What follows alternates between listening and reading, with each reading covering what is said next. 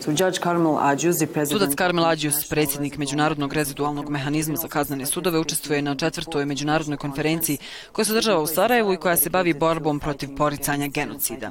Dobar vam dan, gospodine Ađius, i hvala što govorite za nje. Hvala vama. Počnemo sa glavnom temom konferencije poricanjem genocida. Da li činjenice da je poricanje genocida u Srebrenici široko prisutno u javnosti naše zemlje i Srbije, upućuje na to da Međunarodni krivični sud za bivšu Jugoslaviju i mehanizam nisu uspjeli poslati jasnu poruku pojedinci jesu osuđeni za ovaj ratni zločin, ali je li ideja bila osuđena na jednak način?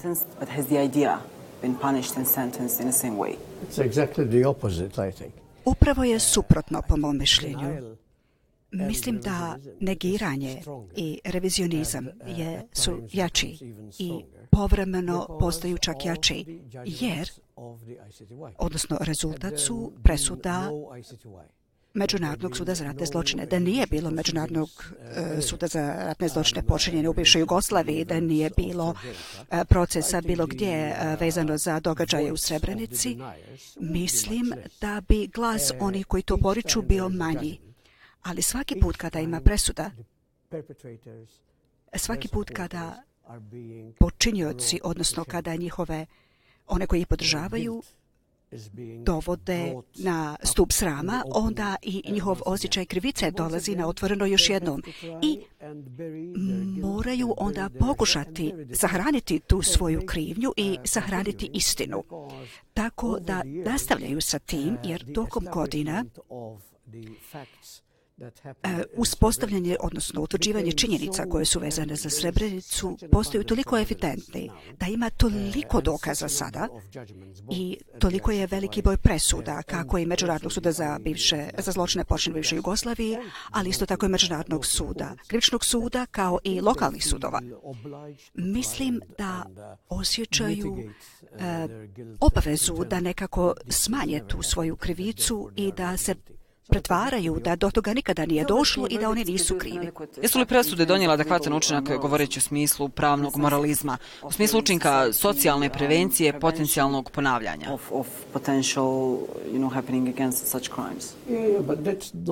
Da, ali to nije funkcija tribunala. Govoreći na društvenom nivou.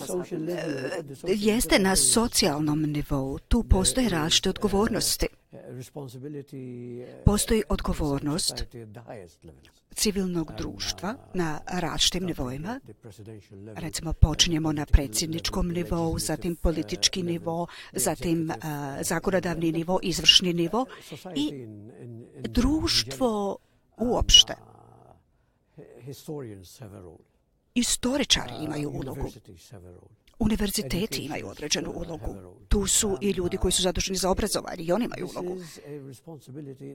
Mislim, to je odgovornost koju zemlja mora sama podnijeti. Presude međunarodnih sudova naravno pomažu presuda međunarodnog suda pravde posebno pored, pored onog koji je za ratne zločine počin bivši Jugoslavi. Znači, to je nešto što nam treba otvoriti oči, ali sve to zavisi od toga da li je društvo po tom pitanju ujedinjeno ili ne. Jer ako postoji podijeljeno, a ima podijeljenosti u ovoj zemlji, onda će se napori nastavljati, ali uvijek će biti otežavani ovim određenim stepenom revizionizma koji postoji po porcanja. Šta biste vi, sudja Ađus, rekli visokim političkim dužnosnicima ovih zemalja, uključujući i trenutnog predsjedavajućeg BH predsjedništva Milorada Dodika, srbijansku premijerku Anu Brnobić, ako bi sjedili ovako preko puta vas i rekli vam da se genocid u Srebrenici nije dogodio? To je vrlo fair pitanje, ali ali nekako uh, ne fervizovi moje uloge, pošto moja uloga, odnosno moja pozicija ima određene restrikcije kada je vezan u vezi onoga što govorim. Javno ne mogu ništa reći osim što što imam dužnost kao predsjednavajući mehanizma da branim istinu. Imam dužnost kao osoba koja je odgovorna za mehanizam i za institucije koje je kreiralo Vijeće sigurnosti da utvrdim šta se to desilo u Srebrenici.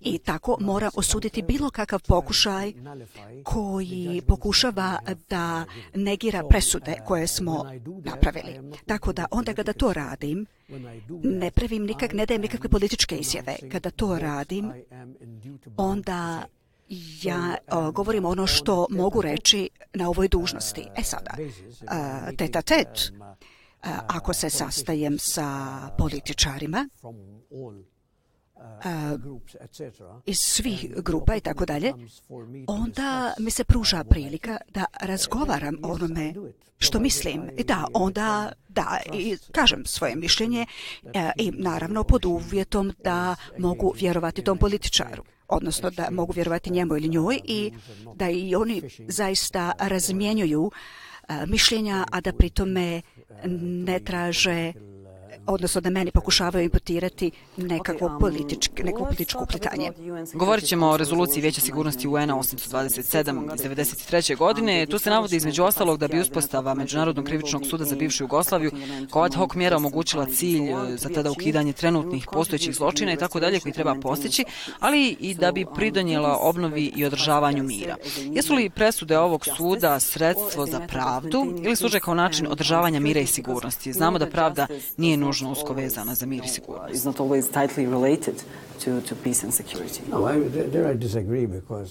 Bos, tu se ne slažem, jer ono u što ja zaista jako vjerujem je da ne može biti mira bez pravde. Prema tome, moramo početi sa pravdom.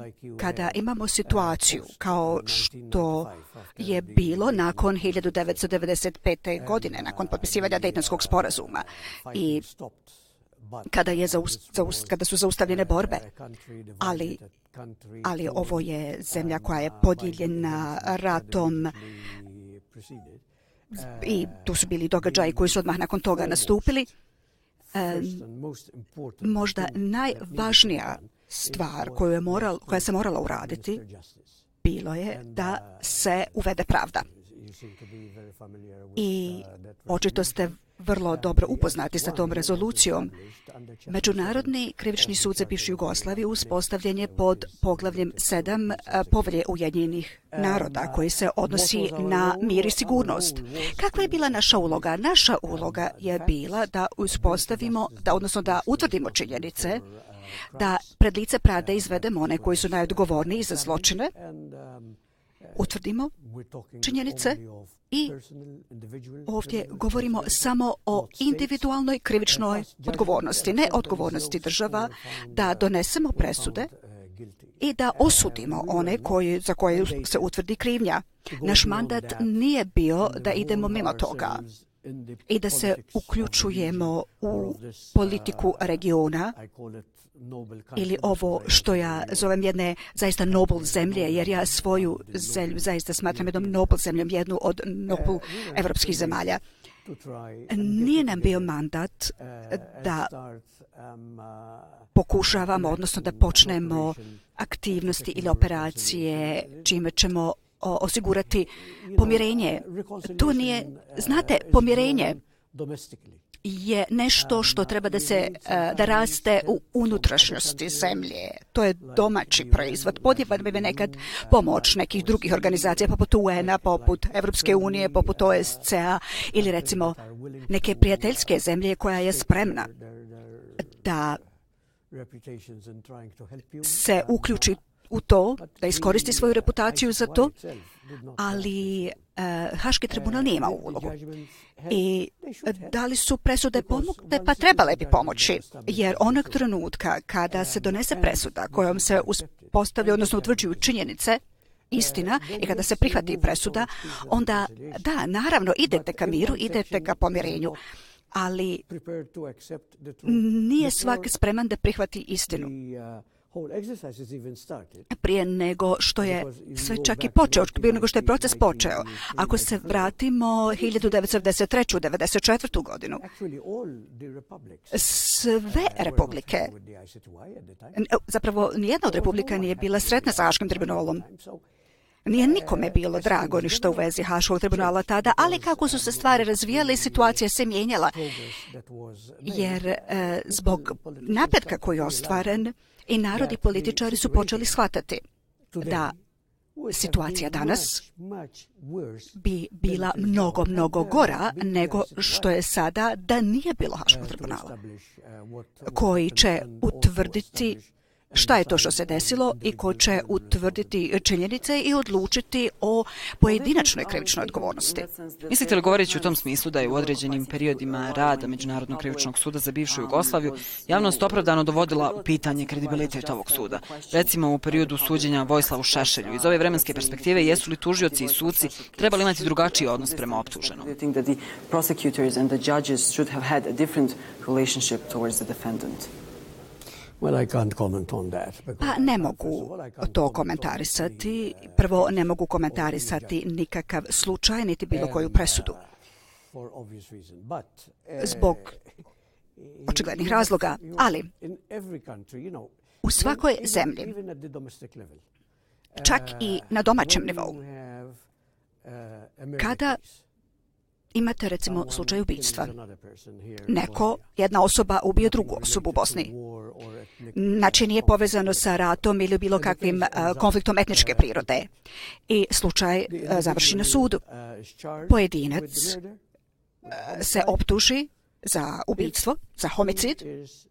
Ako se ustanovi da je on ili ona kriv, onda naravno da osoba koja je okrivljena neće biti sretna zbog presude. Ako se optužba odbaci, onda neće biti sretna žrtva.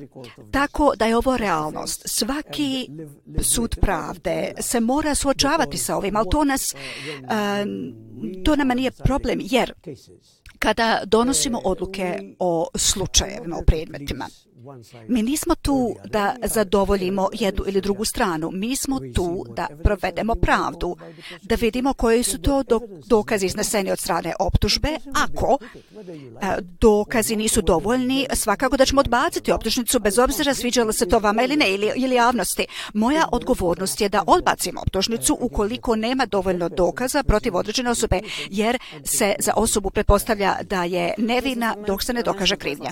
Obzirom da sam spomenula Šešelja. Kako komentaršite činjenicu da pojedinci koji su osuđeni za ratne zločine, koji su odslužili izrečene zatvorske kazne, još uvijek imaju priliku i često javnu podršku da budu na visokim političkim funkcijama u Bosni i Hercegovini i također Srbiji?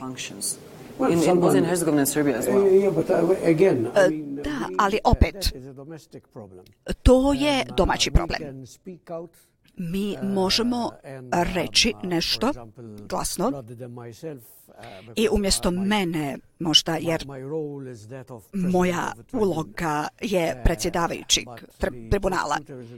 Ali e, tužilac je u boljoj poziciji, recimo, da govori o ovakvim stvarima. I svaki put kada se obratimo vijeću sigurnosti, onda se i on i ja bavimo tim pitanjima. Recimo, jutro ste mogli čuti, bili ste prisutni u konferencijskoj dvorani i e, čuli ste ga, čuli ste kako uh, izražava negodovanje o tome da oni koji su osuđeni, vojna lica koja su osuđena, koja su uh, odslužila kaznu, sada predaju u vojnim akademija. To je zaista sramota, to je sramota. Ali, znate, to je proces odrastanja i konflikt, bez obzira na to što se on desio prije 25 godina i više, on je još uvijek, možemo reći, posmatra se kao nešto se nedavno desilo. Tu su osjećaji, tu je osjećaj i ponosa, zatim tu je i bol zbog poraza, zatim bol uzrokovana smrću, patnjama, morate živjeti sa tim i loše stvari se ne trebaju više dešavati. Ali sve dok se i dalje dešavaju loše stvari, onda to znači da dobra volja ljudi koji bi trebali ovu zemlju da vode naprijed, ne dostaje, odnosno da e, nedostaju zbiljnosti toj volji. Mislim da nema ozbiljnih napora da se ova zemlja pokrene naprijed ako će se ovakve stvari dešavati. Povratak na sadašnjost. Slučaj Jovice Stanišića i Franka Simatovića je na ponovnom suđenju, što je prvo ponovljeno suđenje pred mehanizmom. Koji su razlozi za to i koji su vaši stavovi o ponovljenim suđenjima općenito, osobito kada je riječ o ratnim zločinima? Pa bio sam uključen u donošenje odluke gdje se dodobrilo ponovno suđenje, znači bilo je tu pravnih razloga i nema nikakve svrhe da sada ponovo idemo u detalje, jer su bili vrlo jasni i Govoreći u širem kontekstu, je li to retraumatizacija za žrtve, svjedoke? E, da, ali ako neko odnosno ako je neko izveden pred sud i ako je prošao kroz cijeli proces suđenja I ako je don, donesena presuda, ovako ili onako, i da ako je prilikom žalbe ustanovljeno da stvari nisu urađene onako kako su trebale biti urađene, ne mora znači da je bilo zloupotrebe. Može biti čisto neki nedostatak. I ovdje nije bila zloupotreba, čisto je bio neki nedostatak u upotrebi procedura tokom samog uh, originalnog suđenja pravni lijek, odnosno lijek za svako suđenje, je u, tu postoje i interesi pravde, postoje interesi optuženog i ako je optuženi e, pretrpio određenu nepravdu zbog greške, ja sam prvi koji će omogućiti ponovno suđenje, jer u pravim slučajevima, naravno, slažem se sa ponovnim suđenjem. E, posljedice, da, nažalost, svjedocima Možda čak postoji i dogovor da se ne mora ponovo svjedočiti, ali ne možete to uvijek nametnuti. Sve to zavisi od sudija, od odbrane, od optuženog. Postoje procedure ili može biti zahtjev optužbe da se ponovo, eh, ponovo nešto radi napismeno, ali može recimo odbrana reći opet ne, ali hoću da ponovno dođe svjedok na unakrsno ispitivanje. Znači može se to u teoriji eh, odbiti, ali rijetko se dešava. Kada se može očekivati mladićeva presuda? Kada? Kada se može očekivati mladićeva presuda? Da, rekao sam jutro s krajem 2020. Bez preciznijih informacija. E, ne, ne, čak ni sudije sami se ne bi obavezali na jedan precizan datum, ali sve ide uh, kako treba. Mogu čak dati izjavu da krajem prošle godine E, tri, uključujući mene, tri sudije uključujući mene, koji su bili uključeni u žalbeni proces mladića, e, mi smo zamijenjeni E, drugim sudijama. E, sada postoji drugi panel. E, smatralo se u početku da to možda može izazvati određeno kašnjenje, jer smo dobili trojicu novih sudija koji su uključili, koji su se morali poznati sa procesom. Ali mi smo vrlo dobro organizovani, imamo jedan fantastičan tim u komorama, koji je uspio da blagovremeno obavijesti o svemu sudije i sva uvjeravanja koja su mi do sada data su ta da ne očekujemo nikakva kašnjenja u donošenju presude po pitanju mladića, što je u ostalom bilo i o, o očekivano da se desi 2020. godine. I Ratko Mladić i Radovan Karadžić telefonski su učestvovali jedan u TV emisiji, drugi u javnoj raspravi uživo iz zatvorskih ćelija. E, jesu li postojale sankcije zbog toga? Još važnije, šalje li to opasnu poruku?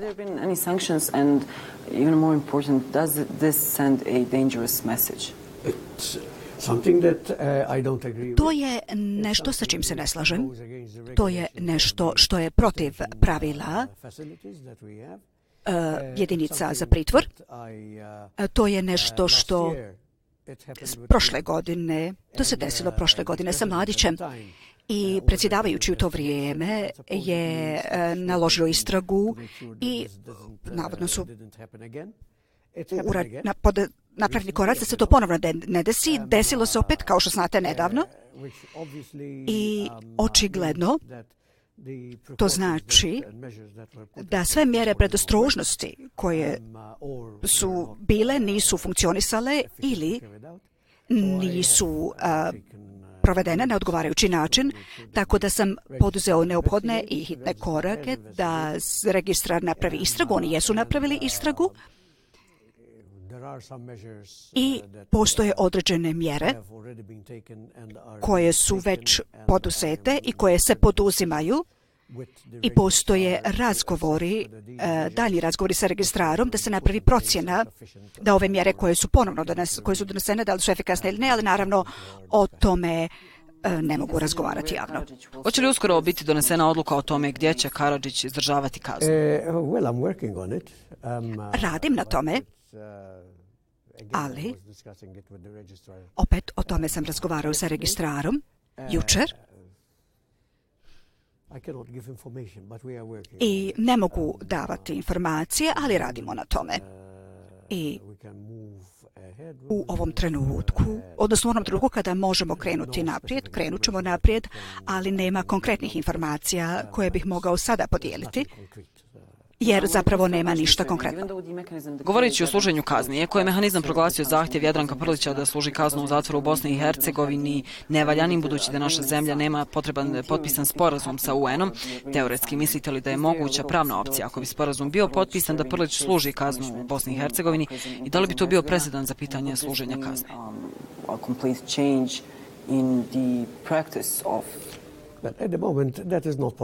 U ovom trenutku to nije moguće. Tako, mogućnost. se ne dovodi u pitanje. Što se tiče Prlića, bilo je određenih razgovora e, prije nego što je određeno da kaznu služi u Ujedinjenom kraljevstvu. Ne mogu dati detalje, ali nije bio iznenađen što se jednog e, jutra našao u situaciji gdje smo pokucali na vrata i rekli gospodine Prliću, dođite, vodimo vas u Jedinjeno kraljevstvo. Znao je da to dolazi i to je to. Ali pitanje da osobe koje su osuđene, bilo od suda ili mehanizma i koji služe svoje kazne, ovdje u Bosni ili u Srbiji ili u Hrvatskoj u ovom trenutku to nije nešto što o čemu se razgovara. Čitao sam da Srbija namjerava ovo pitanje ponovno pokrenuti pred Vijećem sigurnosti u julu, sredinom jula, kada ću biti tamo da se obratim Vijeću sigurnosti. Nije to ništa novo to je nešto, to je pitanje koje se pokretalo u prošlosti. Bilo je podrške za to od jedne ili dvije zemlje, nije bilo podrške od ostalih zemalja, ali to je nešto što je predsjednik Međunarodnog krivičnog suda za bivšu Jugoslaviju ili možda mehanizma, eh, o tome su uvijek razgovarali u sudijama. Nije to odluka koja se donosi lako i obično pritome podnosimo izvještaj generalnom sekretaru kao i predsjedavajućem vijeća sigurnosti i naši izvještaj i naše procjene se obično poštuju. Za kraj o pravnom tijelu slične funkcije kao Međunarodni krivični sud za bivšu Jugoslaviju, specijalna komora Kosova i ured specijalnog tužitelja osnovani su 2017. godine, ipak nije bilo nikakvih akcija do danas. Kakvu poruku ovo šalje, pogotovo u vrijeme pojačanog pritiska i napetosti između Beograda i Prištine? What kind of a message does this send in this time of strengthened, you know, pressure and, and tension between Belgrade and Pristina? Pa, to je teško pitanje. Ne znam da li bi ga trebalo postavljati predsjedavajući mehanizma, ali evo, kada ste postavili pitanje, da ću vam jedan kurtoazni odgovor. I know the president of the Kosovo uh, special chamber. Poznajem predsjednika specijalnog suda Kosova. Zatim znam neku tri četvrtine sudija tamo. Znam da ne spavaju, niti da su besposleni. Znam da imaju dosta posla. I znam da, iako nisu izašli sa konkretnim aktivnosti. Mislim da to nije njihova greška. I da li bi trebalo dati neko pojašnjenje. Pa oni su ti koji su na kraju odgovorni prema Evropskoj uniji, jer odatle sve potiče, ali bilo je određenih kritika, ali isto tako bilo je i pobješnjenja, ali ja nisam u poziciji da donosim sud o tome da li ono što oni rade dovoljno ili nije dovoljno, da li to odašlje neku pogrešnu poruku Kosovu ili nekom drugom.